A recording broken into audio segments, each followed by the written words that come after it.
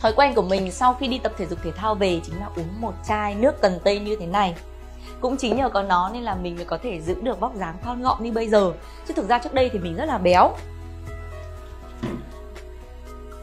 Mọi người có tin được là trong quá trình mình mang thai, mình đã tăng đến 70 cân không? Tức là tăng 22 cân so với cái cân nặng thời con gái thật ra thì trong quá trình mà mình đang nuôi con chỉ số cân nặng nó không phải là vấn đề gì đó quá kinh khủng. Bởi vì chắc chắn là mình sẽ phải ăn rất là nhiều những cái thực phẩm có đầy đủ chất dinh dưỡng để à, lợi sữa cho em bé bú. Tuy nhiên sau này khi mà Thanh quay trở lại với công việc diễn xuất thì mình nhận ra rằng là không thể nào mà đem một cái thân hình béo mũm mĩm như vậy để lên hình được. Bởi vì ờ, khi mà ở ngoài chúng ta có hơi gầy một chút thì lên hình nó mới là vừa. Lên hình thì thường là sẽ bị béo hơn nên là thực sự là phải giảm cân cấp tốc đã có những lúc mình tiêu cực đến nỗi là mình phải giảm cân, kiểu như là ngay lập tức mình sẽ chọn là không ăn gì để cho nó giảm cân nhanh. Tuy nhiên thì những cái phương pháp giảm cân đó rất là có hại cho sức khỏe. Chính vì vậy nên là mình đã cố gắng tìm hiểu rất là nhiều và biết tới sản phẩm bột cần tây Sitokata này và nếu như có ai đó gặp thanh ở ngoài đời thì chắc chắn rằng mọi người sẽ nói một câu rất là giống nhau là, ơ, vì sao nhìn ở ngoài đời trông lại gầy và nhỏ hơn trên phim nhỉ? Mà chính mình cũng không hiểu vì sao cứ mỗi lần lên phim là lại rất bị, rất là béo. Với những loại nước ép cần tây thông thường, khi mà chúng ta tự pha chế tại nhà thì thanh thấy rằng là nó sẽ bị ngái rất là khó uống. Thường thì sẽ phải mix chung với các loại nước ép trái cây hoặc là các cái loại hoa quả khác nhau để cho nó át đi cái mùi ngái của cần tây. Tuy nhiên thì với bột cần tây Sitokata này thì thanh thấy rằng là nó hoàn toàn là dễ uống luôn. Bởi vì là, đây, thanh sẽ đọc thành phần ở đây cho mọi người cùng xem nhé.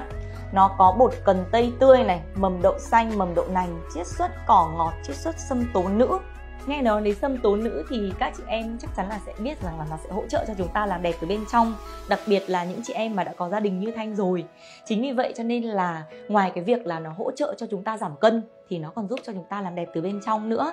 Và cái sản phẩm này thì hoàn toàn là không có chất phụ da nên chúng ta có thể yên tâm sử dụng mà không lo có những cái tác dụng phụ. Titocata này còn có cả mầm đậu xanh, mầm đậu nành nên nó sẽ bổ sung ờ, estrogen rất là tốt cho chị em phụ nữ chúng mình cách pha chế cũng rất là dễ dàng. Chúng ta hoàn toàn là có thể bỏ gói bột vào trong những cái chai giống như thanh đang cầm đây hoặc là chúng ta pha vào trong những cái cốc nước để chúng ta uống hàng ngày.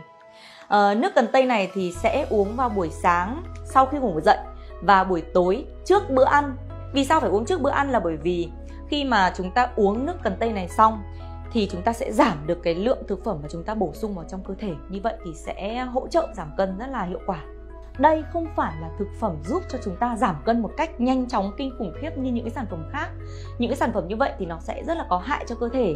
Ngoài cái việc là chúng ta uống ờ, nước cần tây để hỗ trợ giảm cân thì chúng ta cũng cần phải hoạt động ờ, thể dục và ăn uống một cái chế độ ăn lành mạnh thì ờ, sẽ giúp cho chúng ta vừa giảm cân, vừa đẹp da, vừa đẹp dáng uh, nó là có tác dụng kiểu như hai trong một ấy. Nhưng mà với thanh thì thanh nghĩ rằng là nó có tác dụng ba trong một vì là nó còn hỗ trợ cho cả những cái uh, chuyện phụ nữ của chị em chúng mình nữa từ khi biết đến và sử dụng bột cần tây Sitokata thì Thanh cảm thấy rằng là cuộc sống của mình nó trở nên khỏe mạnh hơn rất là nhiều. Bởi vì mọi người cũng biết là công việc của mình thì rất là bận rộn nên đôi khi mình cũng muốn bổ sung những cái thực phẩm uh, tốt cho cơ thể rồi là vitamin các thứ nhưng không phải lúc nào mình cũng có thể ăn hay là uống một cách tử tế. Chắc chắn là khi xem đến đây thì các chị em sẽ có một thắc mắc là liệu uh, nước cần tây này thì chúng ta có cần pha thêm đường hay không? Thì uh, Thanh có hai lời khuyên như thế này thứ nhất là nếu như chị em nào mà thích uống cho thêm đá thì có thể cho thêm đường. Hoặc nếu như thanh thì mình sẽ pha và uống luôn. Vì ở trong bột cần tây Sitokata này đã có chiết xuất từ cỏ ngọt rồi. Nên khi mà uống không uh, nó đã có một cái vị ngọt thanh thanh nhẹ nhẹ ở uh, cuống họng. Nên hoàn toàn là có thể không cần pha thêm đường mà chúng ta có thể pha xong và để trong tủ lạnh cho nó mát rồi uống luôn như thế này cũng được. Ta nghĩ rằng là chăm sóc nhan sắc thì nó cũng giống như là chăm sóc sức khỏe thôi. Chúng ta phải chăm sóc từ bên trong và bổ sung những cái thực phẩm những cái dưỡng chất những cái vitamin cần thiết cho cơ thể. Bên cạnh đó thì chị em cũng nhớ là hãy cố gắng chăm chỉ tập luyện thể dục thể thao mỗi ngày và cân bằng cuộc sống. Cố gắng giữ cho tinh thần vui vẻ lạc quan. À, thanh xin được gửi lời chúc tới tất cả chị em sẽ luôn luôn có một uh, vóc dáng cân đối thon gọn có một nhan sắc xinh đẹp và quan trọng trọng hơn cả là có một tinh thần lạc quan và yêu đời nhé.